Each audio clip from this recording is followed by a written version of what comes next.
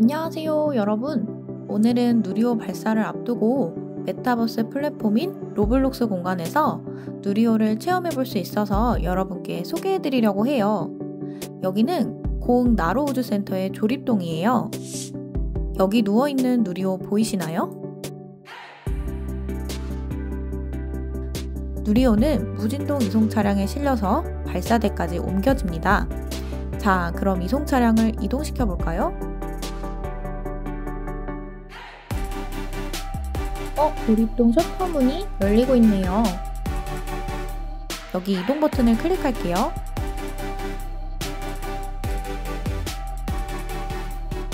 어, 안녕, 안녕. 잘 다녀올게요.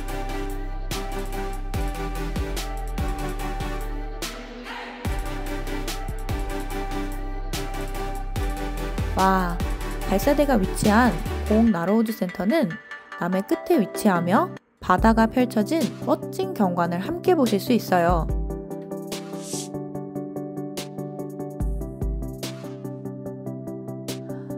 무진동 이송 차량은 실제로 엄청 느리게 이동한답니다.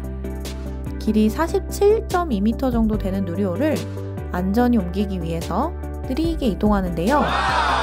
누리호가 옮겨지는 약 1.8km의 거리를 성인이 걸어서 가는 속도와 비슷하게 움직인다고 해요. 그래서 약 1시간 20분에 걸쳐서 이동을 하게 됩니다. 이유는 발사체 이동 시 진동이나 충격 등 외부 환경에 최대한 영향을 덜 받으며 이동해야 발사체 내부에 오류가 생기지 않기 때문이라고 하는데요.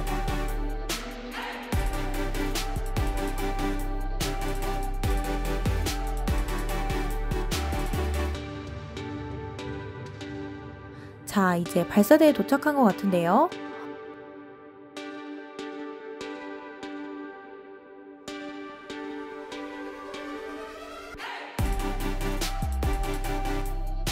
여기 결속 버튼을 클릭해 볼까요?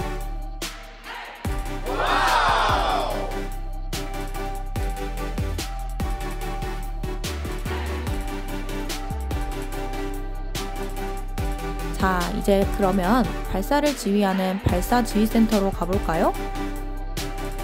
어, 연구원 친구들 안녕 안녕. 짜잔! 발사 지휘센터로 이동했어요.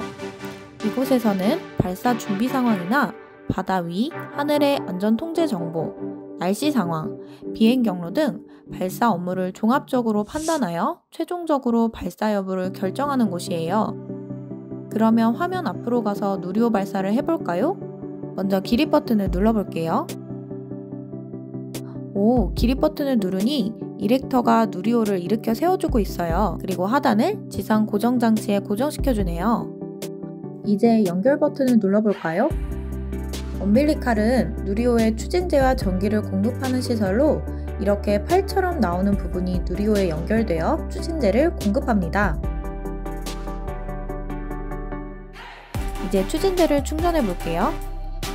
추진제를 충전하면 이렇게 하얀 김이 나오는 것을 실제로도 볼 수 있는데요. 이는 극저온의 액체 산소인 산화제가 충전되면서 주입 직후 증발되어 기화되는 것이라고 해요. 그래서 발사 전까지 계속해서 충전이 필요합니다. 자, 이제 발사 전 이렉터를 분리해 볼까요?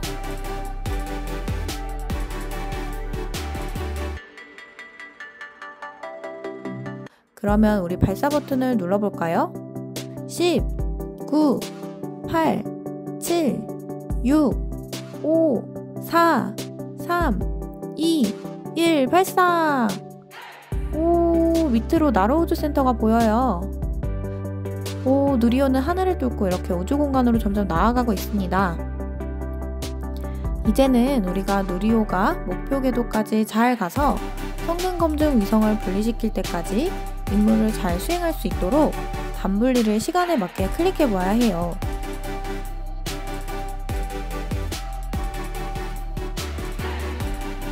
먼저 1단을 분리해 보겠습니다.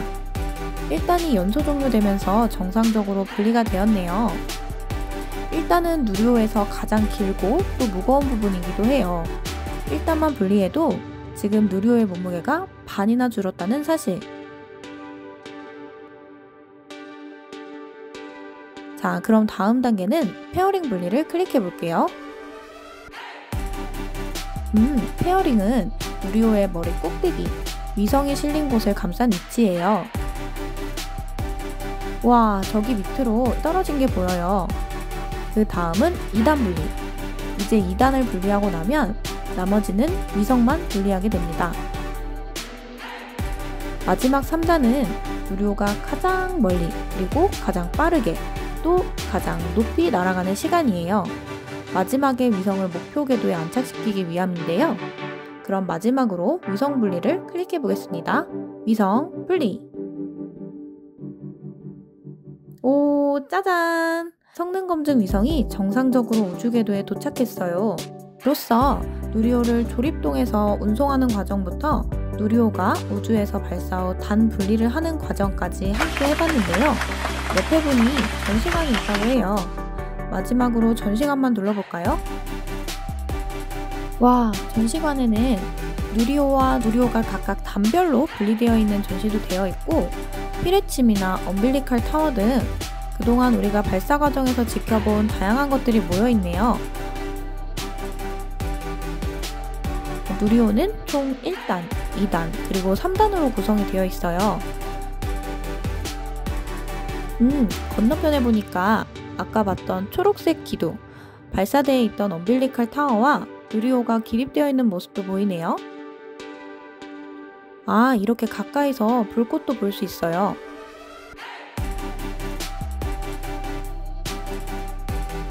음, 저긴 뭐지? 한번 저 검정 공간으로 가볼까요? 검정색 공간은 우주의 무중력 상태를 체험해 볼 수 있어서 공중에서 날아다닐 수 있는데요.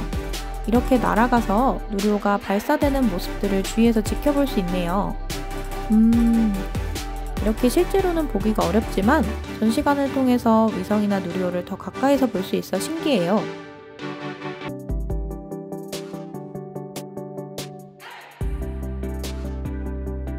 자, 와, 이제 전시관까지 투어를 모두 마쳤습니다. 실제로 누리호를 이렇게 가까이서 보는 건 어렵겠지만 로블록스를 통해서 누리호의 발사 과정을 체험할 수 있으니 여러분의 많은 관심 부탁해요. 그럼 안녕!